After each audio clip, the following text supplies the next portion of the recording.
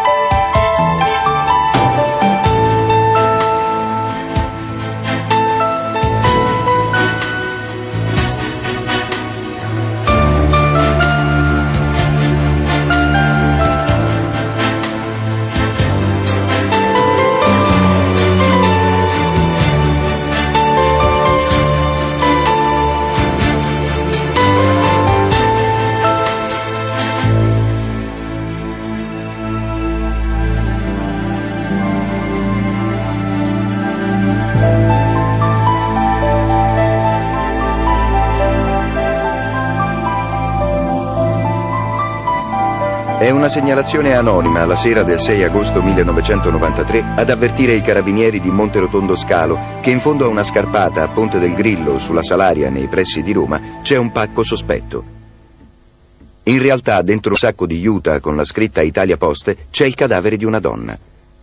Ha ancora al dito l'anello matrimoniale sul quale sono incisi due nomi, Massimo e Cinzia, e una data di nozze, 23 luglio 1988. Il corpo appartiene a Cinzia Bruno, 30 anni, impiegata al Ministero degli Interni e madre di una bambina di 3 anni. Il marito, Massimo Pisano, anche lui impiegato al Viminale, ne aveva denunciato la scomparsa due giorni prima. A mettere gli inquirenti sulla pista giusta sono le colleghe di Cinzia. Dicono che Cinzia si era convinta che il marito la tradisse con una persona di Riano, un paese vicino a Roma. Entra in scena così Silvana Agresta, anche lei impiegata al Ministero degli Interni. Una perquisizione nella mansarda della donna a Riano rivela tracce di sangue appartenenti a Cinzia Bruno. Silvana Agresta e Massimo Pisano vengono fermati con l'accusa di omicidio. Da quel momento i due amanti diventano nemici. La Corte d'Assise di Roma ha condannato Massimo Pisano e Silvana Agresta alla pena dell'ergastolo con l'accusa di omicidio premeditato, sentenza poi confermata nei successivi gradi di giudizio. Dichiara Pisano Massimo ed Agresta Silvana colpevoli in concorso ai reati loro ascritti, unificati dalla continuazione ed esclusa l'aggravante del mezzo benefico, condanna ciascuno alla pena dell'ergastolo. Dichiara entrambi interdetti legalmente, interdetti in perpetuo dai pubblici uffici e decaduti dalla potestà genitoriale. Massimo Pisano, che continua a protestarsi innocente, è attualmente recluso nel carcere romano di Rebibbia.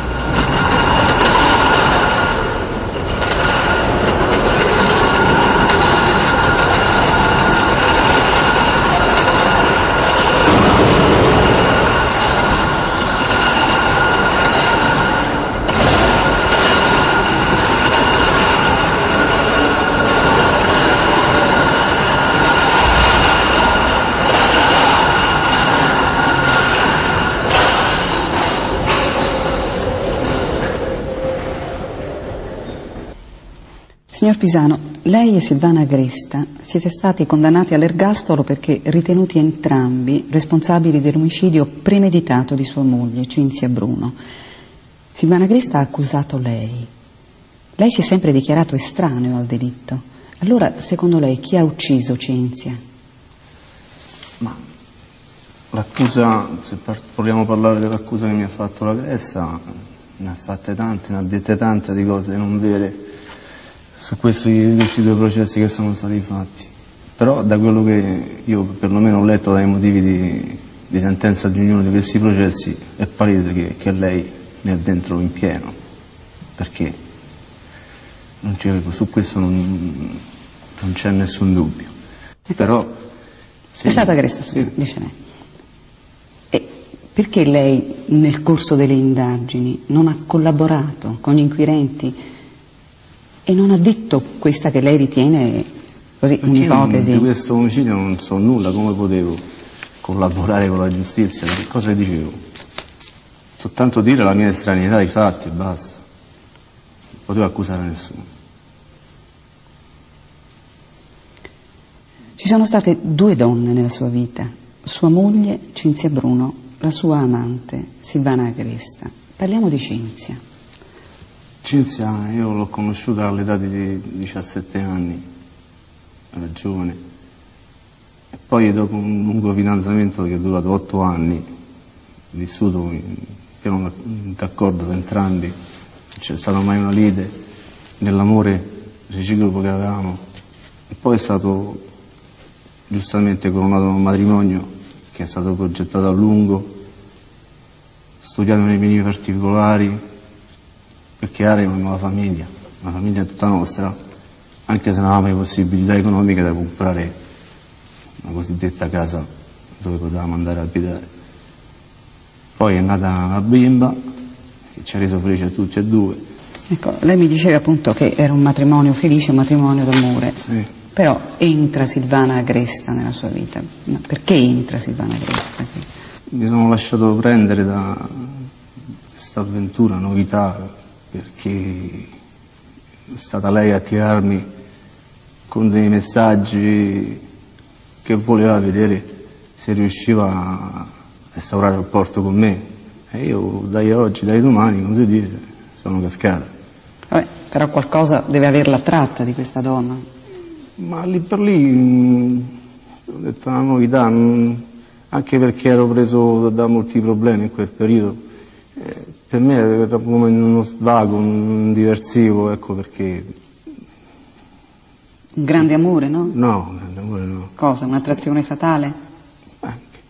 Passione non ce n'era, non vedo tutta questa passione. Era più che altro un'attrazione sessuale. ecco. È durata quanto questa relazione? Circa un anno e mezzo, sì, un anno e mezzo. Silvana Agresta sapeva che lei era sposato? Lo sapeva benissimo, anche perché Silvana Cresta non è che non conoscevo da, da quell'anno e mezzo, no? La conoscevo da tempo addietro perché lavoravamo insieme. Quindi a lei andava bene di essere la compagna di un uomo sposato? Da quello che se ne parlava, sì, per lei stava bene che io l'ho sposato. Questi problemi non si creano. Lei era geloso di Silvana Agresta? No, non era giro affatto. Vabbè, però questo dice lei, invece Silvana Agresta racconta un'altra storia, insomma, parla di una gelosia furiosa da parte sua, insomma, Per quale motivo anche di percosse, geloso? di botte, di, di Io controlli. non, ho mai, io non ho mai alzato mani contro nessuno. Comunque Silvana Agresta abitava a Riano Sì. con la famiglia. La Rossa abitava più che Maria, perché lì sei una frazione di, di, di Riano. Insomma, però, diciamo Riano, una frazione di Riano. Abitava con la famiglia. Ecco, lei frequentava la casa di Silvana. La frequentavo in quel periodo in cui ero, diciamo così, addetto a, a seguire i lavori di quella mansarda. Quale Beh, mansarda?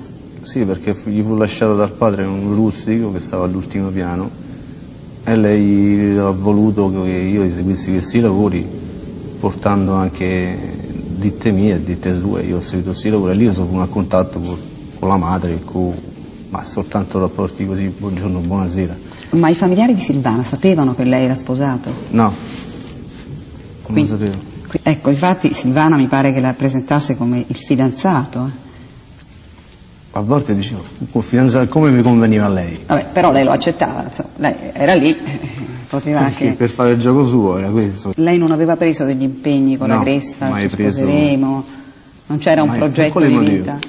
Eh, insomma, era una storia che durava da un anno e mezzo. eh. Per vari motivi durava un anno e mezzo, perché a volte decisi che poi, che poi quando io andavo da lei avevo dei rapporti con lei, quando tornavo a casa c'era sempre quel rimorso, perché e però non riuscivo a, a tagliare di netto questa situazione che si era venuta a creare. Beh, era attaccata questa donna però. Era legato a, a Silvana Cresta lei, se non riusciva a troncare questa Ma no, situazione. perché quando decisi da, da, da, da- troncarla questa qua, ci fu lei una, scattò come una molla come un ricatto. Cioè che, che se io l'abbandonavo, lei immediatamente faceva sapere tutta a mia moglie di questa relazione, cioè perdevo uguale mia moglie. A un certo punto i sospetti di sua moglie, sul fatto che lei avesse un'altra donna, si sono focalizzati su un numero di telefono Sì, che questo sua moglie ha trovato memorizzato nel suo cellulare. Ecco, perché sua moglie si è fissata proprio con questo numero? Perché era un numero che risultava strano che io potessi avere. poi questo, come ha Era, trovato... era il numero giusto. eh? Era il numero giusto. Che io non so come possa essere uscito fuori da quel telefonino perché non c'era memoria. E lei si è fissata su questo numero e ha scoperto cosa? Che era Di intestato una certa naso Giuseppina che abitava a Riano. Via Giacomo Matteotti, però il numero non, non era quello. Era Poi sua moglie telefonava e risultava invece una voce giovane. Sì. Quindi sua moglie si era convinta che a Riano ci fosse qualcosa che riguardava la sua vita eh, di, di- di marito, di marito traditore. Senta, e sua moglie a un certo punto, a causa di questi sospetti, la- le ha anche minacciato di chiedere la separazione. Sì. Ecco, e lei come ha reagito? Ho reagito facendo tutto il contrario che facevo prima, stavo più a casa, tutto, non volevo assolutamente perdere mia moglie. Ma non ha troncato la relazione con la Cresta, però. Con Cresta Silvana era da lì per lì che doveva essere troncata perché anche dovevo partire anche per ferie per la Sardegna. Perché Vabbè. un modo o un altro doveva, doveva finire. Lei mi parla di un rapporto con la Cresta che si stava allentando, che lei cercava di risolvere, però poi che fa? Le regala un anello che è un simbolo e glielo regala proprio, eh, diciamo, o alla vigilia o addirittura il giorno stesso del delitto? Come lo spiega lei? Quel fatto d'anello è stato appunto acquistato il 3 agosto non- e non come dicono inquirenti il 4, perché da varie testimonianze è palese che, che quell'anello è stato acquistato il 3. No, veramente le testimonianze sono contrarie a lei. Ma- Comunque era un rapporto, eh, io insisto sul fatto che questo con, con Silvana Cresta, diciamo, all'epoca del delitto era un rapporto ancora molto intenso. rap-. No, perché Lei lo sa che la Cresta, eh, io devo dirle che ha detto esattamente l'opposto, la Cresta dice che, ha detto eh, ha detto a verbale che lei praticamente, lei, lei, Pisano era innamorato folle di lei, che era furiosamente geloso e che minacciava di uccidersi e di ucciderla qualora lei, Silvana avesse lasciato lei, insomma. Ma questo siamo sempre lì, questo è cose che dice lei, che ha sempre, questo fa parte come il fatto di prima, tutto un castello di menzogne che lei ha detto sin dall'inizio sui verbali. Comunque, un rapporto che certamente le mogli hanno un sesto senso, sua moglie aveva parlato, aveva parlato anche con le amiche di questo fatto che lei comunque era molto distratto, molto lontano, era un'ossessione ormai diventata per sua moglie. Tanto un'ossessione che a un certo punto sua moglie va anche da una cartomante per chiedere. E il responso della cartomante è questo. La cartomante dice effettivamente c'era un'altra donna nella vita, nella sua vita, nella vita di- di del marito, che questa donna aveva avuto un aborto recente e che, particolare e specifico, questa donna non voleva che il marito di Cinzia, quindi lei, quell'estate andasse in ferie in Sardegna con la famiglia. Ecco, Questo ha detto la cartomante. Lei, di questo fatto della cartomante, lei ha parlato con la Gresta, gliel'ha raccontato che sua moglie era andata dalla cartomante? Sì, raccontai che andai da una cartomante e chiesi se c'era un'altra amante in mezzo, che io tenevo un amante qua. Quindi la Gresta era informata di questa cosa. E un'altra cosa, Ma glielo dissi più che altro per fargli capire che ormai la storia si doveva concludere. Invece no. ma lei per esempio temeva che sua moglie potesse andare a Riano a fare un blitz, a indagare? No, non sarei mai aspettato che poteva. Perché lei era di carattere pauroso, timoroso, aveva paura di tutto. Senta Pisano, lei quando ha visto Cinzia per l'ultima volta? L'ho vista eh, il- la sera prima che siamo andati da- dal fratello, Cioè? perché il fratello doveva partire per... eh, La sera prima, quindi Tre diamo una del 3 agosto. Poi Quindi siamo arrivati alla mattina del 4 agosto. Ecco, ora vediamo insieme come, come lei ha trascorso questo 4 agosto, che è il giorno del delitto. Vediamo come l'ha trascorso, però con questa premessa, che quello che lei ha raccontato in tribunale e che doveva rappresentare il suo alibi, che ha raccontato anche durante l'inchiesta, eh, purtroppo che, durante il dibattimento non raccontava. Ah, giusto. Quello che lei comunque ha raccontato eh, agli inquirenti non è stato creduto, eh. questo doveva rappresentare il suo alibi. Allora, innanzitutto, quindi, percorri- ripercorriamolo questo giorno insieme. Lei a che ora è uscito di casa? Come detto, quarta alle sette. Sono al lavoro alle sette. e un quarto. Ecco, Cinzia dormiva? Sì, l'ho salutata mentre stava dormendo. Come E al lei solito. Dove è andato? Questo, Lavoro. In ufficio. In ufficio. Ecco, signor Pisano, lei nel cuore della mattinata è uscito dall'ufficio ed è stato assente, così come è indicato nella sentenza, per 90 minuti circa. Ecco, io vorrei ricostruire con lei questi 90 minuti che le sono costati l'ergastolo, perché risulta che è in questo arco di tempo che è stata uccisa sua moglie.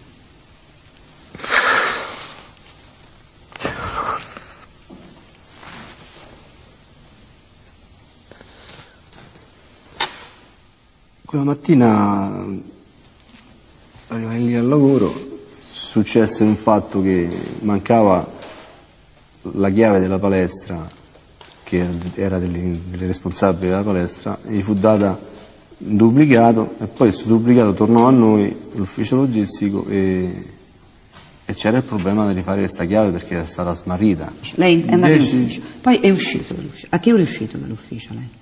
Questo il fatto di tutti gli orari, cioè il A 10, che- 10, 10 e un quarto. Ecco, 10, io- 10 e un quarto. Più di così non mi posso ricordare perché, ma come fa un uomo a rintassare, cioè io non è che Vabbè, sono lì, però posso risulta- ricordare quell'ora lì. ecco. Risulta anche dalle Sì. testimonianze, quindi lei diciamo, è uscito alle 10.10. 10, 10 e un quarto. 10, 10 e un quarto. Dove è andato lei? So- mi sono allontanato per andare al catasto. Perché, al catasto lei? Perché io, come ho detto prima, facevo, facevo- sono geometra e facevo anche attività come geometra, oltre a avere un impiego presso l'Istituto Superiore di Polizia. E ho approfittato per allungarmi al cadastro per presentare queste due pratiche. Da cosa risulta che lei abbia presentato queste due pratiche? Dalle ricevute. Qui- Che ricevute? Ha riempito dei moduli lei? C'erano, ho riempito due moduli per una pratica e in più c'era la, la- la ricevuta che, dell'altra pratica. Quindi lei ha riempito, Sì, ho riempito quantomeno un modulo di suo pugno l'ha riempito. due moduli facenti parte della di suo stessa pugno. Ecco, in quante copie l'ha riempito? In due. In due copie. Ecco, a lei è rimasta una copia di Come no? questo? E dov'è questa copia? Dove, è stata dove l'ha messa lei questa copia? Una valigetta di 24 ore mie, Nella dove sua- tenevo tutti i documenti miei, inerenti a quella mattina e pure altri. È stata ritrovata questa copia? Come? Stava ritrovata dentro la macchina dove ne- Ed è stata di sequestrata. Ma è stata fatta una perizia su No, è questa stato fatto calligrafica niente. su questa? Niente, nulla. Vabbè, ma su questa pratica c'è un timbro, Come, c'è un timbro una data? grande così, con scritto 4 agosto 93. Ma chi poteva farla al posto suo questa pratica? C'era qualcun altro che poteva farla? No, perché quelle, ogni pratica che tu fai poi a presentare al cadastro che sono variazioni o nuove costruzioni, le devi presentare tu perché tu sai tutta la storia della pratica, non puoi delegare qualsiasi altra persona che non sa niente, se c'è un problema non te lo risolve. Qualcuno l'ha vista lì? Qualcuno loro mi ha- dopo quattro mesi che io ho passato in isolamento, senza incontrare nessuno tramite soltanto l'avvocato, io mi sono ricordato in particolare perché è una domanda che mi fecero loro, non che partì l'iniziativa mia. Che cosa di, di particolare ricorda di quella mattinata? Io mi, mi ricordo che appunto nella pratica di questo Monari, perché qui le andavano fatte due file, uno per, per una pratica e una per quest'altra pratica, che quello avanti a me, il tecnico che stava ritirando la sua pratica, gli mancava un timbro. Allora, siccome già aveva stato proto- protocollati altri fogli, l'impiegato arrivato a quel punto non poteva più tornare indietro, era costretto a, a mantenere quel protocollo e, e al tecnico gli ha detto guarda, se vieni domani e porti il timbro la timbri, te la do domani. Ecco qui. Ma è stato rintracciato questo signore? Dalla mia difesa non è stato rintracciato dai inquirenti. Lei mi dice che non è stato Non trovato... è stato in- preso in in- considerazione da- dalla prima corte d'assise. forse perché non è stato prodotto in tempi utili Non lo so il motivo. per lo svolgimento Perché non ritenuto necessario. Questa è stata la motivazione. Comunque, eh, i, giudici hanno ritenuto che in questa eh, vicenda del catasto, in questa eh, sua eh, così, affermazione di essere stato al catasto, in quel, in quel lasso di tempo non- lei non abbia prodotto elementi utili a dimostrare con certezza che lei veramente è stato lì. Poi dove è andato dopo il catasto? Ferramenta, Non fare ferramenta? fare. Ma lei ha uno scontrino in mano per, questo, per, No, per dimostrare? ho, l'ho smarrito, non, non ho dato peso. Senta, a che ora è rientrato lei in ufficio? Quindi lei abbiamo detto è uscito alle 10.10. È rientrato invece a che ora? Forse alle 11.30, non mi ricordo Sì, infatti risulta dalle testimonianze. Quindi lei complessivamente abbiamo detto che è stato assente 90 minuti. 90 minuti circa. Ecco. Ora, gli inquirenti che non hanno creduto al suo alibi, hanno però fatto una verifica giudiziaria sui tempi di percorrenza fra il suo ufficio e la casa di Riano. Ed è stato riscontrato che il tempo di percorrenza fra il suo ufficio e la casa di Riano della Agresta è di 20 minuti, quindi 20 minuti andare, perché questa prova giudiziaria è stata fatta il 3 agosto dell'anno dopo. 20 minuti andare, 20 minuti a tornare, quindi sono 40 minuti. Rimangono 50 minuti. Ecco, secondo i magistrati che l'hanno giudicata, i giudici, lei in questi 50 minuti avrebbe avuto tutto il tempo di commettere questo delitto. Prova è stata fatta, come loro, come loro dicono, che è stata fatta nelle stesse situazioni sia ambientali che, che eccetera, però in quel periodo su quei, quei tratti di strada c'erano dei lavori in corso anche, che non erano soltanto dei 400 metri come è stato detto in appello, ma c'erano bensì anche tre, altri 3 km e mezzo. E sulla dichiarazione che ha fatto l'ANAS dice che c'erano possibilità di informazioni di CUTA su quei tratti. Poi 18 minuti per fare 20, 20, 20 minuti per in fare sentenza 23, c'è scritto 20 23 chilometri. Senta, parliamo di, di telefono, di telefonate. Lei ha dichiarato al processo che nel corso della mattinata ci fu una telefonata con Silvana Gresta, ci fu. Chi ha chiamato? Ha chiamato lei Silvana o Silvana ha chiamato lei? Silvano ha chiamato me, erano le 11 e qualcosa, stavo appunto dal cadastro andando a Feramento. E dove l'ha chiamata? Sul telefonino. Sul telefonino. E la Gresta dov'era in quel momento? Questo non lo chiedo, penso a casa, perché non ho sentito, non sentivo rumori, sotto, certo nell'ambiente chiuso. Quindi vi siete sentiti alle 11? E che cosa vi siete detti? Oltre, vi siete, avete preso qualche appuntamento? Oltre, No, appuntamento oltre- già era stato preso la mattina, per l'ora di pranzo. Quindi lei doveva Perché andare... dovevo montare sta, una segreteria telefonica che lei gli avevano regalato, non so di che. oltre al parlarsi con la, con la Agresta, quale che sia poi la, la verità, lei ha fatto anche altre telefonate in mattinata. Lei ha chiamato anche sua moglie in ufficio. Sì, ma sempre da- dall'ufficio mio all'ufficio Ma lei a che ora ha chiamato sua Ma è moglie? 11 e mezza poi, appena rientrato, il tempo da consegnare le chiavi, che avevo fatto, e mettermi a sedere e, e comporre il numero. per- perché quella mattina c'era pure un'altra cosa, che mia moglie mi doveva far sapere che do- doveva cambiare i biglietti per la Sardegna su un altro traghetto invece che quello. Infatti lei si doveva incontrare con, con Adriana per fare questo cambiamento e mi doveva far, far sapere questo qua, se c'erano stati problemi o meno, e poi gli dovevo comunicare, comunicare che non andavo a pranzo. E lei parla con sua moglie? No. Lei perché non parla con sua moglie? Perché mi è stato sempre negato. Una volta stava a spostare la macchina, una volta stava a fare colazione, una volta era uscita con Stella. Cioè lei in ufficio non c'era.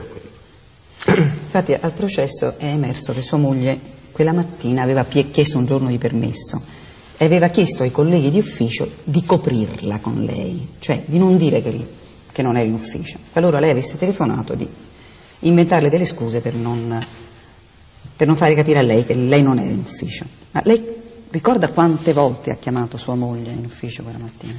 Per preciso no, ma comunque 5-6 volte. Perché? Ma perché, il perché è semplice, perché se io chiamo in ufficio e mi dicono guarda, chiama per 5 minuti, e io richiamo per 5 minuti, e poi io, visto che non c'è, ti dico quando torna fammi chiamare, e poi visto che non mi chiama, io richiamo a lei. E allora richiamavo e mi si inventava un'altra storia. Poi è arrivata all'ora che lei doveva stare per forza in ufficio, non mi chiamava, chiamato io, ma qual è, com'è possibile? Infatti devo dirle che questa insistenza da parte sua è- poi è sembrata sospetta, Sì, è sembrata poi, sospetta, vista, ma vista motivo- distanza perché i Il colleghi era, colleghe- era valido, eh, il che- motivo mio era da, da, da fare questa insistenza perché mi, doveva rispondere. Ecco, però lei quando è che comincia a preoccuparsi per l'assenza di Cinzia? La sera, la sera stessa, perché prima, in prima istanza si credeva che era stato un, un allontanamento così per riflettere, per fare. Sì, ma invece risulta che lei si è agitato subito, perlomeno ha mostrato di agitarsi in modo quasi sproporzionato. Per subito intendo subito, nelle prime ore del pomeriggio, già nelle primissime ore del pomeriggio. Tant'è che lei ha chiamato questo suo amico vigile del fuoco Perché? Gli ha fatto controllare col terminale gli ospedali e poi è andato in giro, ha cercato sua moglie a Stazione Termini, l'ha cercata al Verano, ha telefonato a sua suocera dal Verano. Ecco, ma lei perché era così preoccupato? Che lei si è preoccupato eh, subito? Sì, perché c'è stato il motivo, c'era perché mi hanno detto che, che Cinzia era uscita con un'amica sua che teneva un motorino e non tornando, perché io ho chiesto pure di questa, di questa amica qua, non tornando questa amica e non tornando mia moglie, io la preoccupazione era che, che fosse successo qualcosa col motorino. Ecco perché feci interessare questo mio amico per chiamare i pronto soccorsi, visto che stavo in macchina come facevo a chiamare E lei poi non si è accertato se questa amica era in buone condizioni di salute? Mi ha chiamato lei. Mm. Ma appunto a proposito di telefonate, io vorrei tornare sul telefono che è un po' un protagonista di questa vicenda, perché il suo cellulare resta muto per tutta la mattinata. La prima telefonata sul suo cellulare, poi dal tabulato, viene riscontrata alle 13.55. Lei chi chiama a quell'ora? Chiamo questa Silvana per dire che stava andando con la lei, come avevamo preso appuntamento. Per dire che stava andando? Sì. Ecco. E poi che succede? Poi chiamai sempre casa, sempre col cellulare quando ero già uscito dal lavoro, che mi stavo dirigendo verso Ariana, per sapere se era tornata mia moglie e non era tornata. Allora io chiamo la cresta, so se faccio una o due telefonate perché è una cascata e gli dico che, che mia moglie ancora non è tornata a casa. E gli dico guarda che devo annullare questo appuntamento perché voglio vedere che, che è successo, che non è successo, ma non è due e mezzo. Mm. Ma, mm, Visto che si era preoccupato per i miei suoceri a casa. Ma non è poi eh, Pisano che lei ha un amante chiama l'amante per dirle che si preoccupa per sua moglie, questa amante si poteva un po' seccare insomma, per questa sua ansia. Eh devo dire che non andavo più a pranzo. Mm. Comunque lei contatta varie persone in quel primo pomeriggio, fra le chiama, come abbiamo detto, l'amico, eccetera, per fare i controlli agli ospedali, eccetera, però chiama anche in particolare l'amica più cara di Stella, l'amica più cara di Cinzia. Scusi. E questa signora che è una, una persona con cui sua moglie si confidava, le suggerisce di andare a Riano. Le dice vai a Riano, perché tu lo sai che tua moglie ha in mente che Riano abbia a che fare con certa tua infedeltà. Quindi vai a Riano, cercala lì. Ecco, anche questa, questa, amica le ha anche detto che sua moglie aveva in mente di fare un blitz a Riano, di andare a controllare a Riano. Lei a Riano ci va o no? Sì. Ci vado, che erano, sono italiano che erano le 16.30 del giorno. Rifaccio la, la flamigna per vedere se, se effettivamente era una italiana.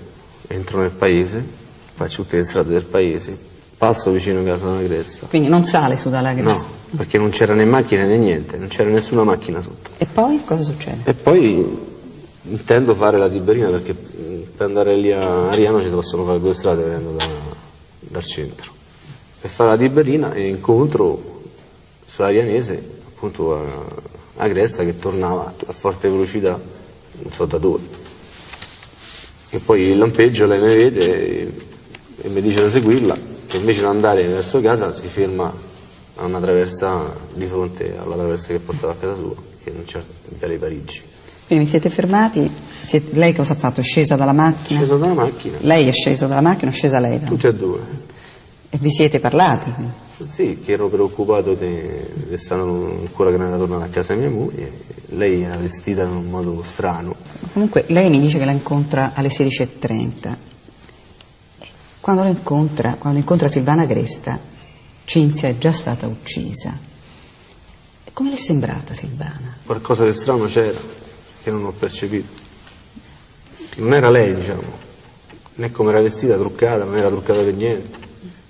Non era da lei. Però vi siete, insomma, vi siete fermati, vi siete parlati. Ecco, nell'ispezione corporale fatta alla Gresta dopo l'arresto sono state riscontrate 27 fra lesioni e chimosi, soprattutto localizzate alle braccia e alle gambe. Ecco, queste chimosi lesioni sono state giudicate il risultato di una colluttazione violenta. Ecco, lei la vede, sta vicino a lei, parla, scende dalla macchina, come ha fatto lei a non accorgersi che questa donna era tumefatta, che era piena di, di, di, botte, di segni, di echivosi? Non ho fatto caso, non l'ho proprio notato. L'ho notate, ho notato delle scoriazioni sulle mani il venerdì. Quindi lei lascia la cresta e che fa? La richiama al telefono nel pomeriggio? Sì, perché richiamata. Sempre lei perché voleva sapere come andavano le cose. Ha chiamato lei? Chiamava, chi chiamava? Era La la- chiamavo io perché lei dove chiamava. Se non sapevo chi stavo o chi non chi stavo, eh, per forza la chiamavo io. Ma lei ricorda quante telefonate ha fatto nel pomeriggio? Alla cresta intendo? 5, 6, 7, non mi ricordo. Lei ne ha fatte 11. E Lei l'ha chiamata. pomeriggio? Sì, e nel, nel pomeriggio io ho il tabulato della SIP. Lei la prima volta l'ha chiamata alle 13.55, poi l'ha chiamata alle 14.14, alle 14.32, alle 14.55, alle 15.18, alle 15.41, alle 16.41, alle 17.02, alle 19.42, alle 22.24, alle 22.32. È un po' strano. eh. Lei lo sa che queste- tutte queste telefonate poi hanno avuto, hanno una- avuto lettura, hanno avuto una lettura diversa, perché insomma, in un momento di, di ansia, Ma quelle erano, erano ma non soltanto in quel pomeriggio, pure altri pomeriggi telefonavo sempre sia a Silvana, non è che solamente in quel periodo. Perché lei si mostrava, come ripeto, preoccupata e voleva sapere. lei quando denunzia la scomparsa di, di Cinzia? Erano mezzanotte, de- mezzanotte e trenta de- del giovedì. Ma quando lei fa la denunzia, lei lo racconta ai carabinieri quello che le hanno suggerito le amiche di Cinzia? Cioè che Cinzia poteva essere andata a Riano per controllare, per fare un blitz, per, per coglierla in fragrante adulterio. Gliela- Certo, no. Non gliela- Dissi che, che forse era, era, sembra, si era allontanata da casa perché c'era mm, un momento di riflessione de- de- sia da lei che da, da parte mia, che, che anch'io fa- facessi questa riflessione. Poi, tanto è vero che il commissario mi disse, ti preoccupa che succede. Però lei non fa cenno a Riano, non dice che sua- questa sua amica... Cioè, minimamente non pensavo che potesse. Beh, comunque lei lo omette, lei non dice che c'è questo, questo litigio, questa ipotesi così, che sua moglie sia nata a Riano, questo, questo No, suggerimento ero- delle amiche.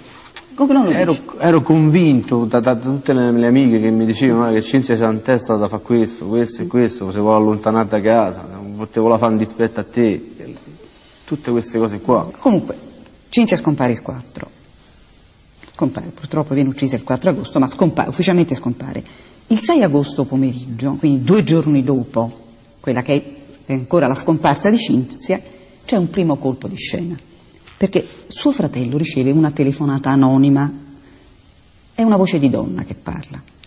E questa donna dice questo a suo fratello. Dice che Cinzia ha una relazione da sette anni con una persona non del suo ufficio, che quattro mesi prima quest'uomo l'ha messa incinta e l'ha fatta abortire, che quest'uomo le ha imposto di non andare in vacanza in Sardegna con il marito, come era stato programmato, che la relazione era coperta dalle amiche e che Cinzia era scappata con quest'uomo.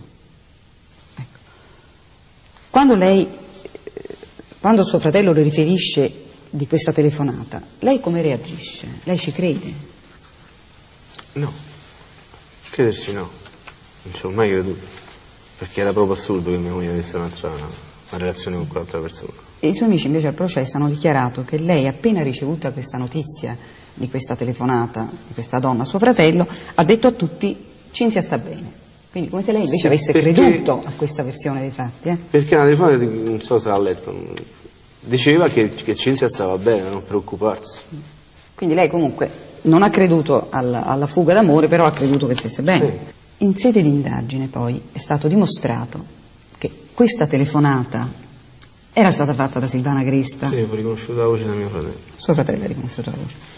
Ma quando lei ha appreso il contenuto della telefonata, non le è venuto in mente che erano le stesse cose che la cartomante aveva detto a sua moglie? Non ha ricollegato queste due cose? Di quella cartomante mi ricordo soltanto che io tenevo una, una relazione con un'altra, di tutte dell'aborto, del cose, era talmente irrato, arrabbiato di questo fatto di questa persona che, che- che aveva detto queste cose a mia moglie, che che non... Cioè, perché quella persona, una cosa mia moglie, per, per mettere in cattiva luce tutta... Cioè, da lì è partito tutto. Il 6 agosto sera, poche ore dopo la telefonata anonima, viene ritrovato il cadavere di Cinzia a Ponte del Grillo. L'esame esterno sul cadavere di Cinzia Bruno è stato eseguito la mattina del 7 agosto 1993 alle ore 11.30. A carico del Poglio Capelluto vi erano numerose ferite lacero-contuse ed erano in numero di 11.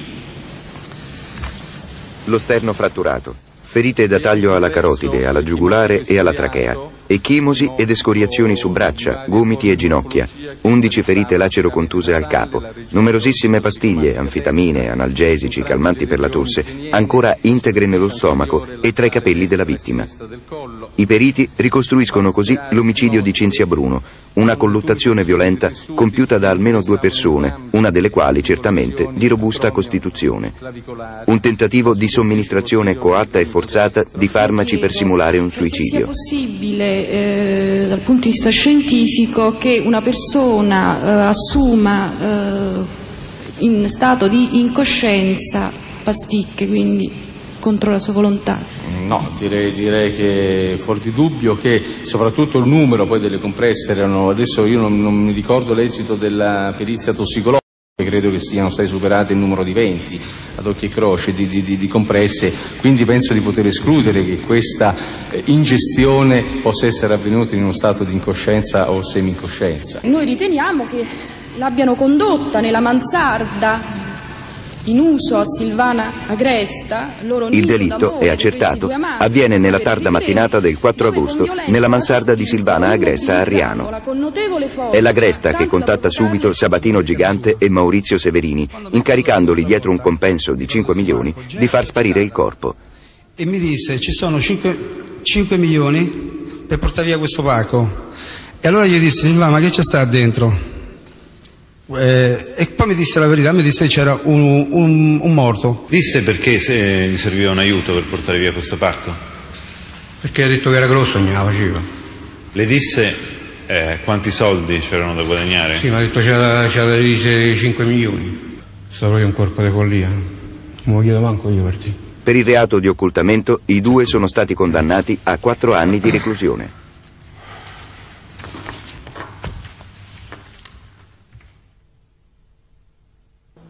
7 agosto lei e Silvana Agresta venite fermati. Venite fermati con l'imputazione di aver ucciso insieme Cinzia Bruno. Secondo gli elementi emersi dalle indagini, che sono poi state confermate nelle sentenze, lei Silvana Agresta, secondo un piano premeditato, avete attirato Cinzia nella mansarda di Riano, avete cercato di ucciderla, simulando un finto suicidio per avvelenamento, ma il piano non avrebbe funzionato per la reazione di Cinzia, che è stata una reazione disperata certamente, e allora l'avete finita a colpi di bastone e di coltello. Ecco, questa è l'accusa per la quale voi siete stati anzitutto fermati e poi condannati. Lei cosa mi dice su questo? È tutta un'assurdità. Potevo mai io compiere una cosa così orrenda, perché questa è stata una cosa orrenda, incredibile proprio, non ha fatto del male a nessuno mia moglie. Era soltanto andata lì, non so come, per compiere un blitz, se, attirata, ma come, attirata da chi, quando, dove e come. E poi vedremo perché in effetti appena arrestati le strade sue, la strada sua e quella della Gresta si dividono, perché voi che eravate amanti diventate nemici. E io, signor Pisano, prima di proseguire, devo dirle che Silvana Gresta è stata invitata a prendere parte a questo programma. La signora Gresta ha rifiutato, quindi sarò io a ricostruire la versione dei fatti che la Gresta ha fornito. La Gresta anzitutto l'ha smentita e ha negato la versione dei fatti da lei data e ha accusato lei, signor Pisano, di essere l'unico autore del delitto. Ha ritagliato per sé un ruolo marginale. Ecco, io innanzitutto le chiedo come spiega che una donna innamorata ha potuto accusarla così implacabilmente? Perché non c'era vero amore, non c'era questo amore che tutti dicono, non c'era. Se no non stavo qui. Eh. Non c'era vero amore da parte della Gresta? È la Gresta Ma che... neanche io da parte mia, era un rapporto così. Vabbè, adesso infatti vediamo cosa dice la Gresta rispetto a questo 4 agosto. Ma, agosto, insomma, che è il giorno poi del delitto. La Gresta dice che lei è uscita alle 8.30 di casa sua, è uscita alle 8.30 ed è rientrata alle 10, alle 10 no, dalle 8.30 alle 10.30 la Gresta dice di avere lavorato a casa del prefetto. Poi finisce di lavorare e va a fare la spesa al supermercato di Riano. Intorno alle 11 la Gresta dice che, di essere rientrata a casa. A mezzogiorno ha ricevuto una sua telefonata in cui lei le avrebbe detto c'è un pacco in mansarda, fallo sparire. Quindi secondo la Gresta lei, Pisano, avrebbe ucciso sua moglie e poi avrebbe incaricato la sua amante di fare sparire il cadavere, minacciandola peraltro di farle fare la stessa fine se non avesse obbedito. Ecco, lei come risponde a questa accusa? Io questa domanda eh, neanche vorrei rispondere perché mi sembra un offeso davanti a lei, a intelligenza sua, dottoressa Rosini. Perché, ma se immagina lei che io arrivo a, Riano in pieno giorno con la mia macchina, parcheggio sotto casa sua, tiro fuori pacco, voi chiamate pacco, ma mi dà fastidio solo perché sono al pensiero che dentro questo famoso pacco c'era noi, già, cioè lo stacchiamo, non fermo. Cioè carico questo, so come, braccio sulle spalle faccio quattro piani, poi per lasciare il pacco e per andarmene e incaricare lei di una mansione così delicata, di chiamare altre persone a interessarsi di una cosa che io secondo loro ho ideato, progettato, ho fatto tutto quanto. Per quale motivo? Sono alto 1,82 m, peso più di 100 kg, ma c'avevo forse bisogno di fare tutte queste storie? Penso proprio di no. Eh. Questo fa parte, come ho detto prima, di un castello di menzogne della Cresta, al quale lei ormai si è arroccata, arroccata in questa situazione e non vuole più uscire fuori. E dice questo soltanto per alleviare le sue responsabilità, soltanto questo, perché non capisce qual è il vero dramma di questa situazione. Fa, continua ancora a fare del male, ancora di più di quello che ha fatto. Togliendo la vita a una donna giovane di 30 anni, madre di una bambina di 3, che non gli aveva fatto niente di male. Perché? Perché non lo so, perché, perché una persona è capace di fare una cosa del genere, per quale motivo? Non lo so.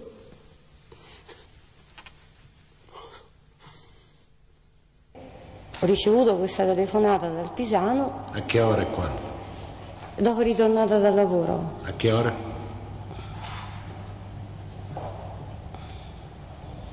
Verso mezzogiorno così. E lei ha ricevuto questa telefonata Sì. da Pisano Sì. e Pisano che Sì. cosa le ha detto? Sì. Dicendomi che a casa mia c'era un pacco e io avrei dovuto farlo sparire. Avrei dovuto pensare a tutto quanto io e non mi sarei dovuta preoccupare. Perché a me non sarebbe successo niente. C'è un secondo punto di questo, Sì. che lei avrebbe visto questo pacco già chiuso e legato sulla Sì. terrazza del suo Sì, appartamento. Sì, sì. Trovato Quando, già quando questo? dopo la sua telefonata. Dopo la sua telefonata. Su questo punto? Nega assolutamente aver fatto questa telefonata. Ritornando appunto alla ricostruzione dei fatti, devo dire che dalla perizia risulta che Cinzia è stata uccisa da due persone, una delle quali di robusta corporatura. E la dinamica dei fatti è stata ricostruita così. C'era una delle due persone, nella fattispecie Silvana Agresta, sarebbe stata Silvana Agresta, che stava davanti a Cinzia e le infilava in, in bocca violentemente le pillole. Nel corpo di, di Cinzia ne sono state trovate 20 le pillole per avvelenarla e questo spiegherebbe, essendo lei davanti a Cinzia, tutte quelle tracce, le ecchimosi, le lesioni che sono state trovate in numero di 27 nel corpo della Gresta.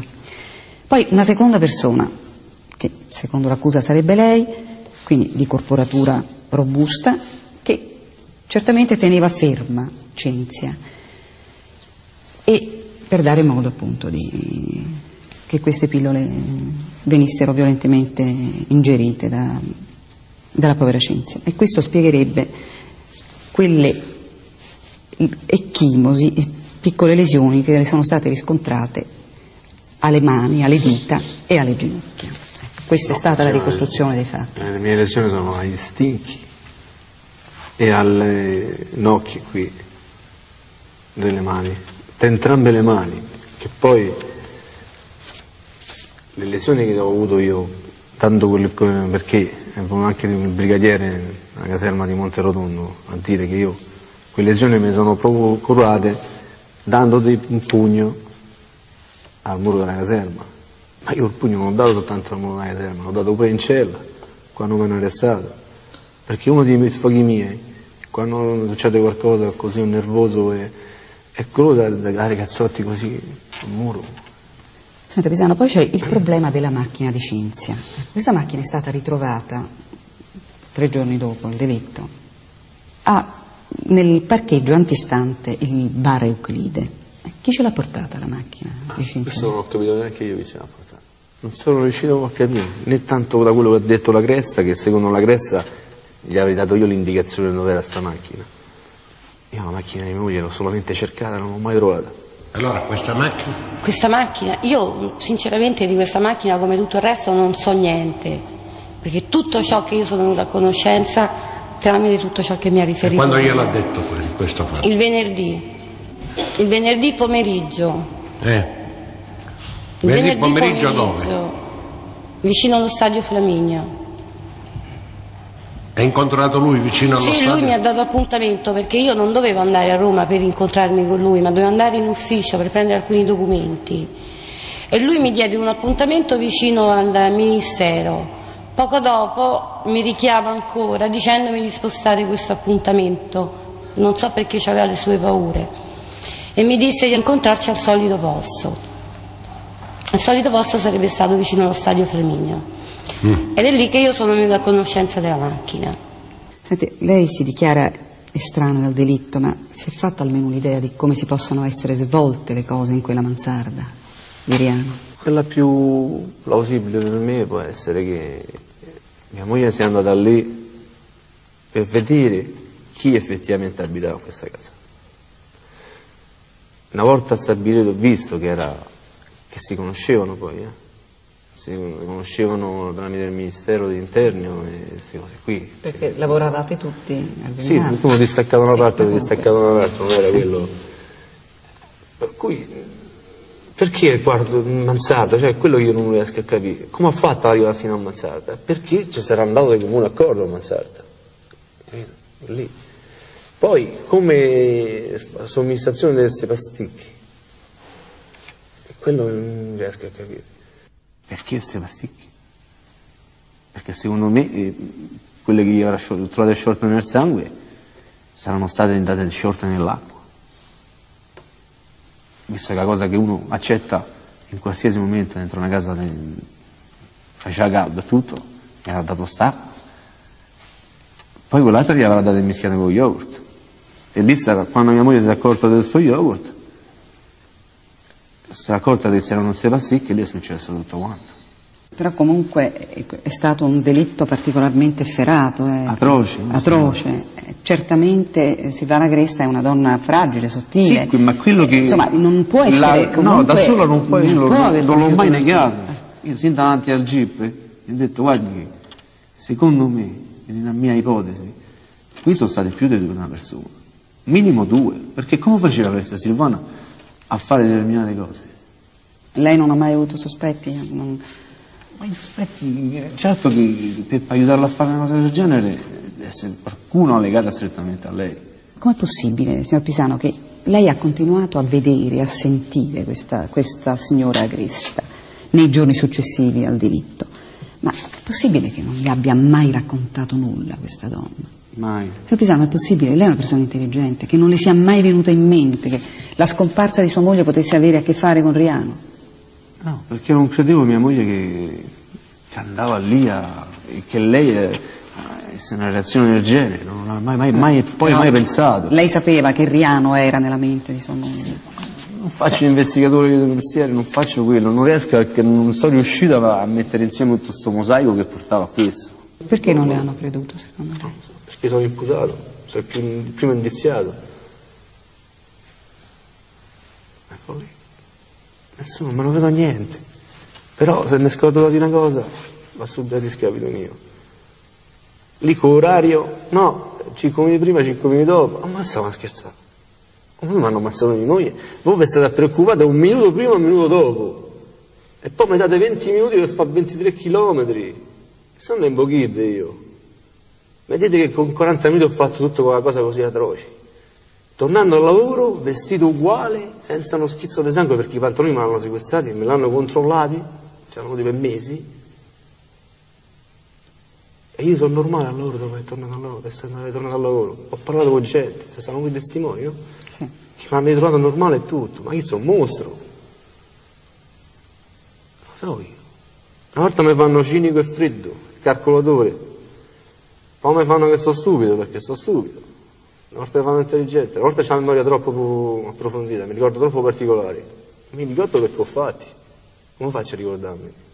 Senta, signor Pisano, ma lei quindi si dichiara innocente. Però perché al processo lei si è avvalso della facoltà di non rispondere? Quella è stata una, una scelta difensiva, perché si riteneva, come stavo dicendo prima, che tutto quello che, quello che c'era in possesso dei- degli inquirenti non provava niente e che io potevo essere assorto in base a quello che tenevo. Al processo Silvana Agresta ha accusato lei implacabilmente. Perché lei a sua volta non ha mai accusato apertamente Silvana Agresta? Forse è la prima volta. Mi Adesso. permetto di dire determinate cose, perché come faccio a accusare la Gressa Silvana di una cosa che io non so che quello che ha fatto e che non ha fatto? Che cosa gli faccio? Che, che, che- devo inventare qualcosa? Devo inventare qualcosa che forse venivo creduto? Se io mi inventavo qualcosa non prendevo il gas. Forse era meglio che lei al processo Parlavo. parlasse. Sì. Lei, in che misura lei si sente responsabile di questa tragedia? Come dicevo prima, di quel senso di colpa che mi perseguita la mattina e la sera. Aver tradito mia moglie che non andava tradita, perché non se lo meritava e non se ne meritava. E basta fine. Lei cosa si aspetta per il suo futuro? Quello che mi aspetto dal futuro, ecco, l'unica possibilità da poter rifare questo, questo appello. Se la Cassazione accetta o meno i motivi del ricorso, Cioè che venga riconosciuta l'illogicità delle sentenze e tutte varie cose. la sua innocenza. Sì. Che cosa prova lei oggi per Silvana Agresta? Oggi che provo, certo rancore provo, anche se sono un cattolico, non riesco a perdonare a questo momento, perché mi ha fatto del male, mi ha distrutto, mi ha rovinato, ma non solo nella mia, nemmeno tanta gente, tantissima. Io non ho più una famiglia, mia moglie me l'ha torta. Non vedo la bambina da tre anni, ho tre anni che non vedo mia figlia.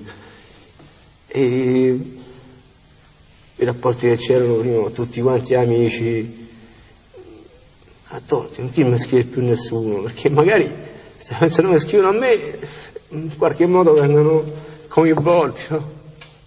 Assurdo, è assurdo. Che cosa posso provare? Su questo. Tanto che che lei se deve fare un attimo mente quello locale che capisca gli sbagli che ha fatto e assumersi le sue responsabilità assumersele veramente senza rovinare più altra gente Lei sta scontando una condanna a vita per, una per un delitto che dice di non aver commesso. Ma è sicuro di aver detto tutto quello che sa Tutto. su questo delitto? tutto tutto e non hanno creduto a niente le cose sono tanto che moglie non c'è più